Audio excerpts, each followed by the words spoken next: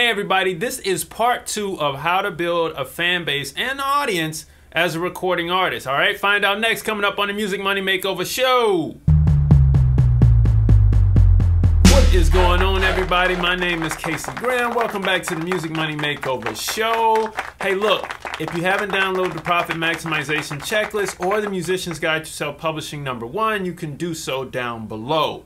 All right, this is stuff that's going to help you in your journey to becoming a truly independent uh, uh, indie uh, musician. Now, we're gonna jump into the video today and we're talking about building an audience and a fan base from a digital spectrum, right? I touched on it last week in part one, today is part two, okay? But in order to do that, you have to understand how the digital landscape works. We're not getting into hashtag strategies, we're not getting into the SEO strategies. That's another video for another day, okay? And that's more in depth into the process. What I am doing in this video is explaining to you the structure of how the digital landscape works, okay?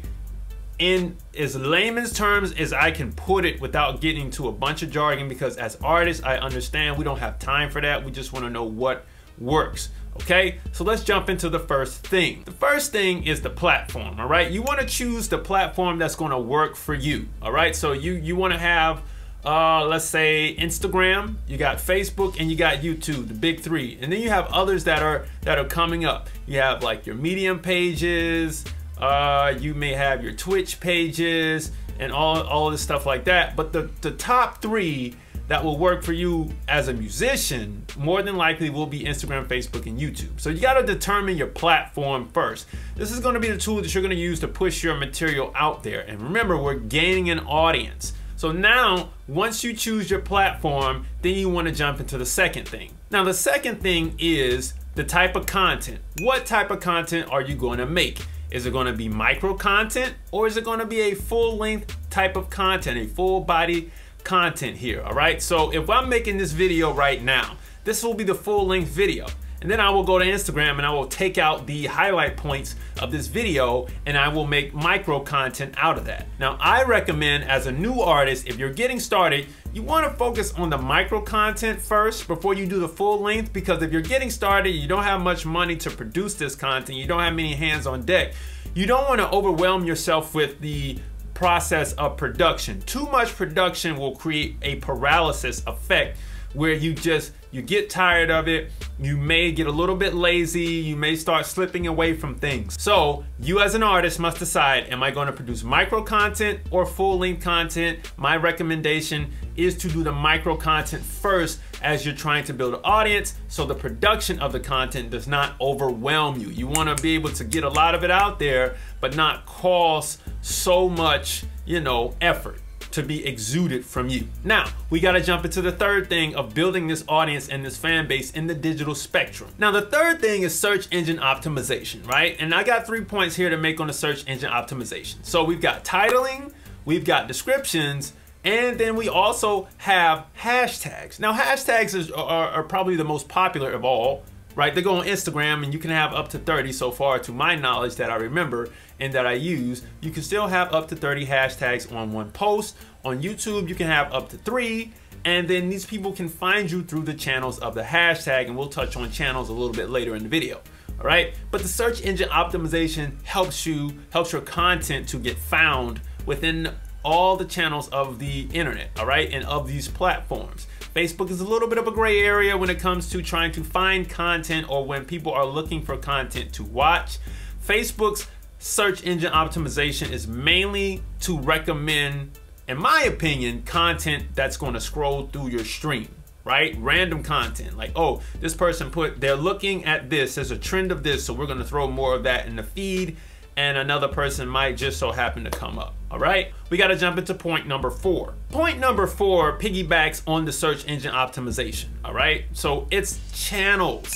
Where is your content going to fit into? So, if we're going to use hashtags on Instagram, you can follow those hashtags. Those are, if you look at it in this aspect, those are like television channels. I like to think of it that way.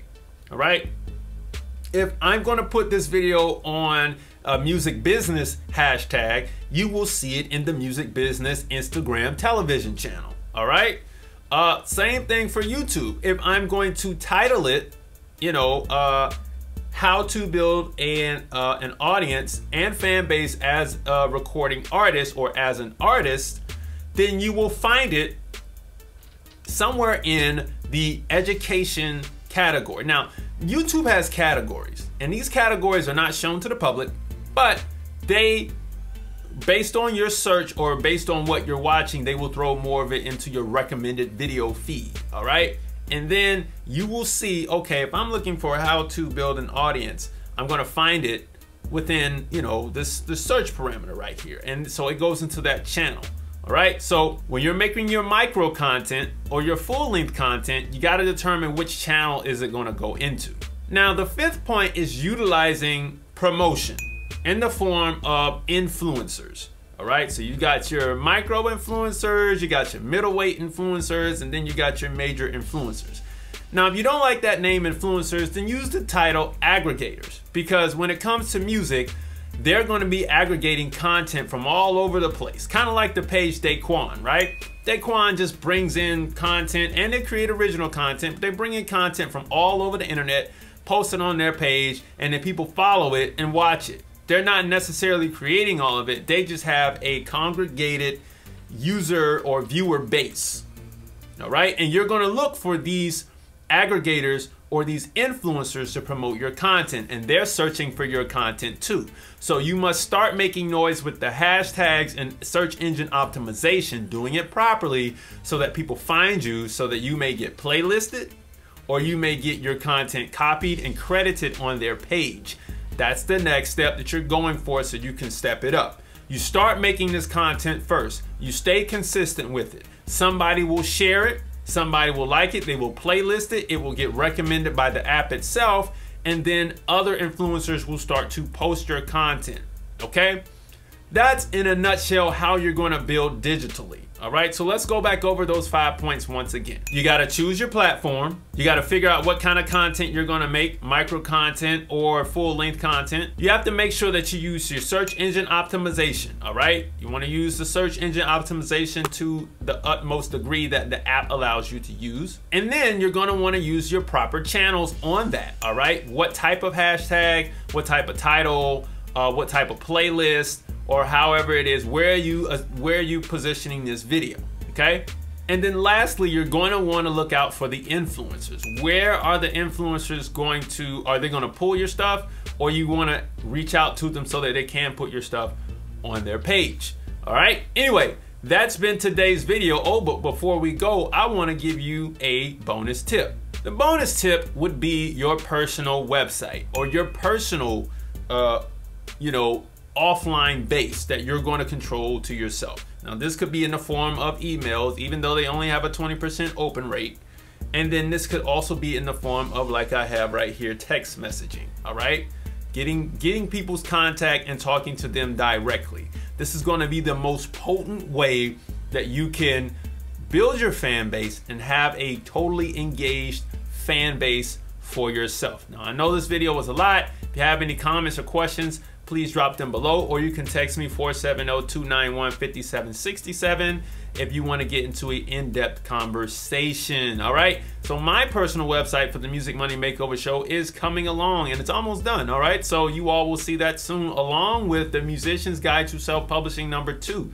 That will be on the site as well and it's coming soon next month really all right? Anyway i will see you all next week. Don't forget to like comment share and subscribe down below uh, and I will see you on the next video as well. Peace.